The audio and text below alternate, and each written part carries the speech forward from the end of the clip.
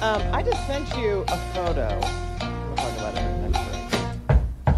727, time to go inside the numbers to bring you the news of the day, Kelly Jackson. Okay. According to Gallup, 4.1% of American adults Uh-huh. identify themselves as LGBT. 4.1%. What is that? I wonder what that is. That's a good question. Wise. 10 million people. Really?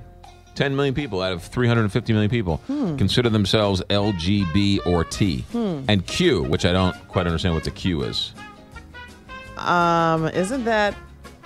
I don't know. I don't know I don't want to say. I don't know what and, the and- Q and is. be offensive, but I think I. I mean, I know what it is. I, I don't know what the Q is. Uh, listen to this. According to the Associated Press, good news for those who want to get rid of the Affordable Care Act. Yeah. In the early morning hours, the Senate voted 51 48 on a budget measure that would make it easier to repeal the Affordable Care Act. Republicans don't have a framework to work out something to re- replace Obamacare, but the passage of this makes it easier to simply overturn the law. what are they going to do? Who cares? Get rid of it.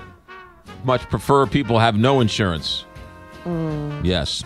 Um, according to the Center for Public Integrity, municipal billing records indicate cities have invoiced the Trump campaign at least $204,000 in unpaid bills for police protection provided during the course of the campaign. Wait, how much? $204,000. The Clinton campaign owes owes $25,000. So the Trump campaign owes 200,000. Clinton owes owes 25,000. Uh, and finally, in the news conference yesterday, Donald Trump announced they would turn over control of his business to his sons, but not sell them. He also said that this past weekend he turned down a $2 billion development in Dubai. Yes, he did. That's what he said. He said the company will not make any foreign deals while he is president, but he still could entertain domestic offers if they pass a vetting process.